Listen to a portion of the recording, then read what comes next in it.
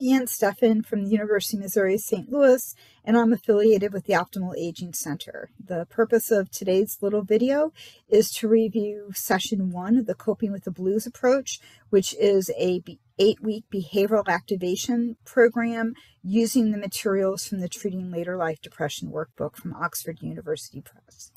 So in our video today, um, we're going to outline the components of session number one. I'll be walking through the specific learn and practice forms, making a couple of comments on implementing them. I'll be reminding some uh, uh, some basic tips for managing session pacing and therapy alliance and also providing some troubleshooting and reminders of where to find things in the later life depression clinician guide.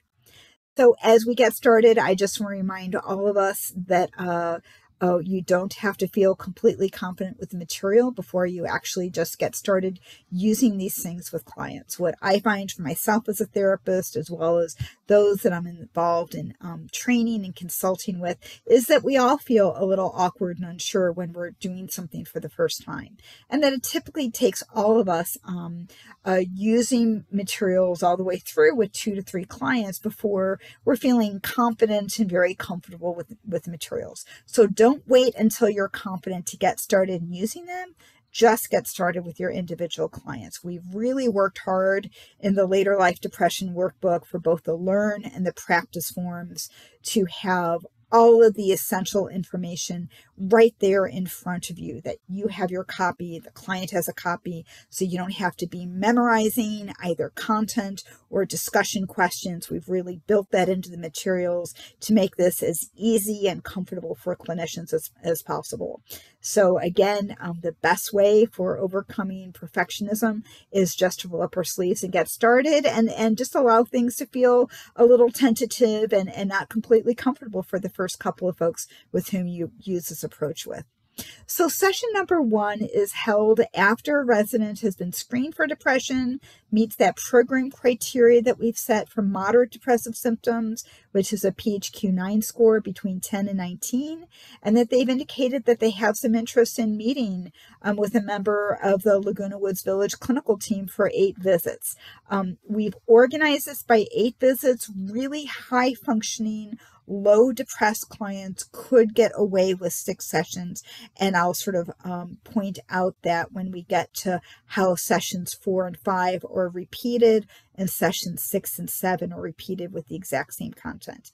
And again, a critical piece of all of this is that this is not just them um, receiving suggestions or getting information. This is about skill development, and that's a key part of um, what we want to be emphasizing. And so we're really expecting residents to be open to the idea of, of both learning and practicing new skills in between their meetings with you. Um, some of the tips that we have in the materials that we pulled together for you as a clinician is to comment in your work with residents that this is probably going to feel different than past th therapy experiences that they've had. We suggest that uh, each resident is provided with a simple folder and that you're providing the stapled packet for session one. And throughout this entire program, we're recommending that you only provide one session's worth at a time so that they're not just paging ahead and saying, oh, that's all right, I'll just look over it. Because again, this isn't just about reading something or looking over material. This is about developing new healthy habits.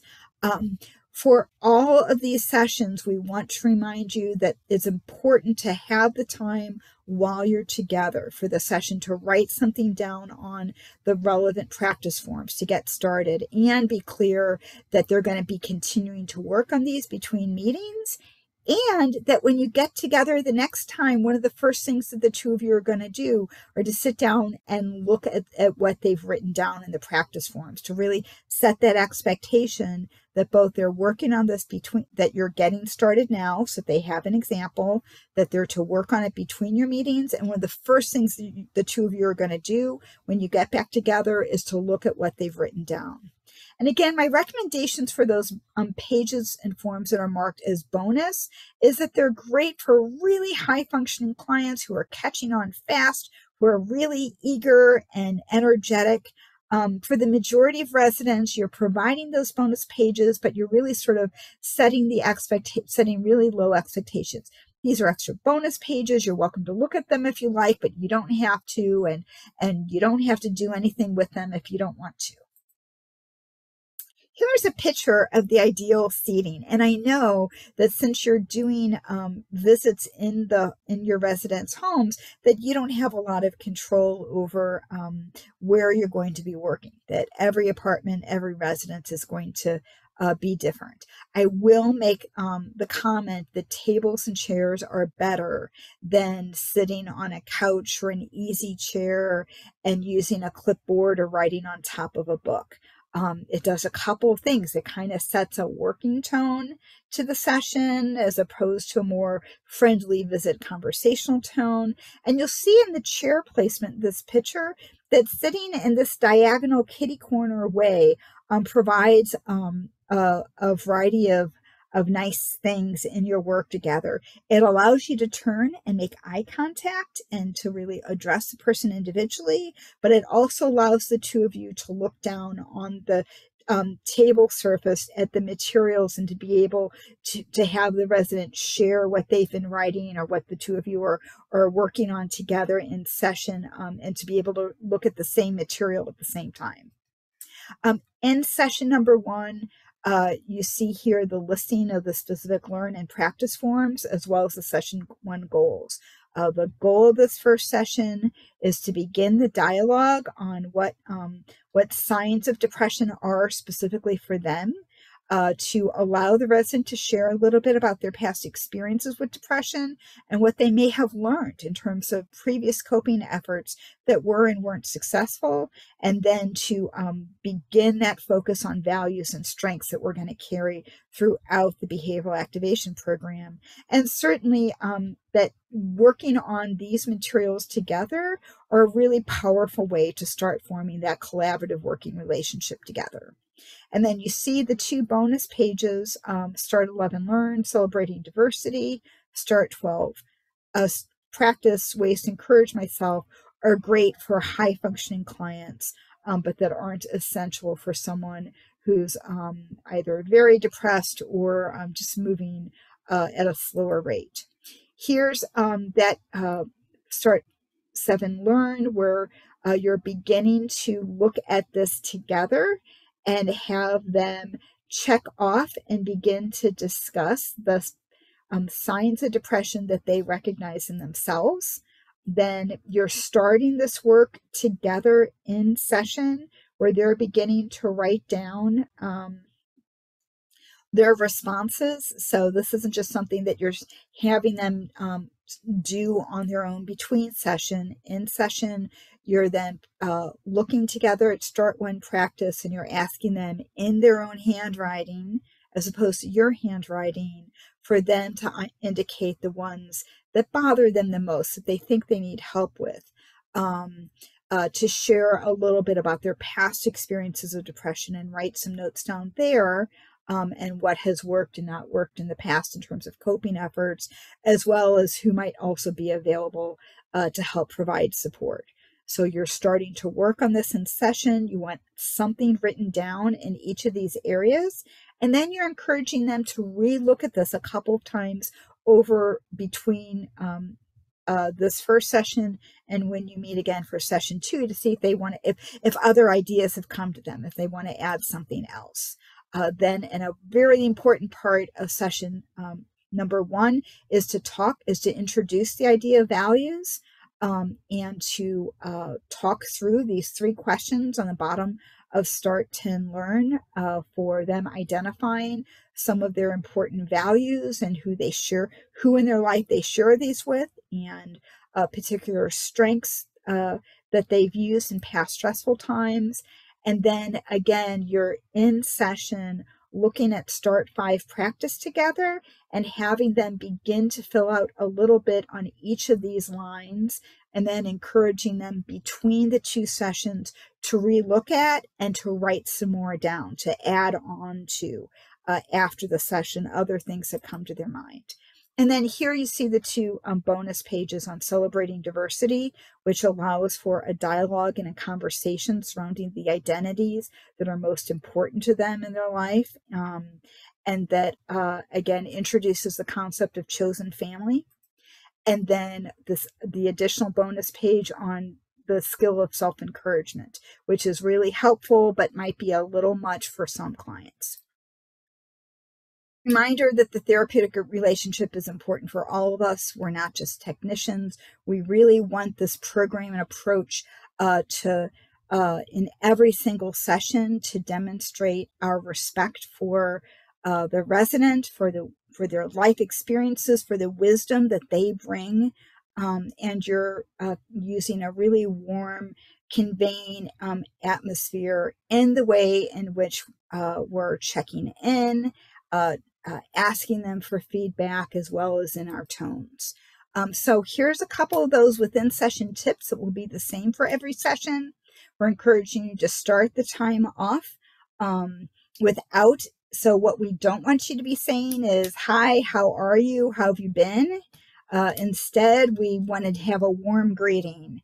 Mary, it's so good to see you today. I'm glad that we're here together. Let's get started. And what we're going to do to get started is we're going to review how you're doing, and then we're going to make a short list of topics for our time today.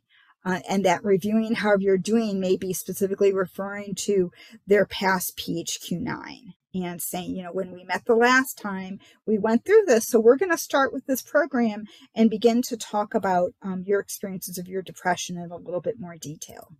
Uh, so some of the recommendations we have for enhancing the therapeutic relationship is clarifying how the resident wishes to be addressed there are cultural differences in formality or informality that we want to specifically note. Um, in some cultures, uh, a resident who has a formal title themselves, who is a pastor or a doctor or an elder, may uh, prefer to be referred to um, in that way or as Mr. as Mrs. So you want to ask about that.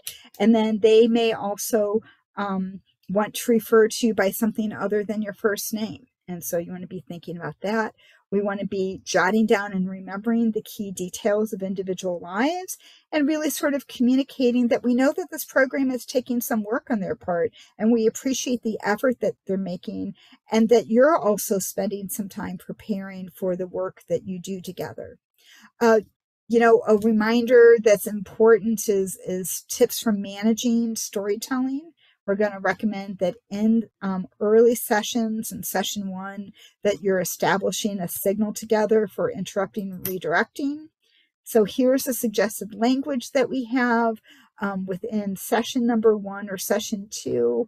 You know, Mary, at some time when, when in our time together, I'm really likely going to need to stop and interrupt you to make sure that I understand what's most important to you before you continue. When I need to stop you for a bit, to make sure that I really understand how would you like me to do that?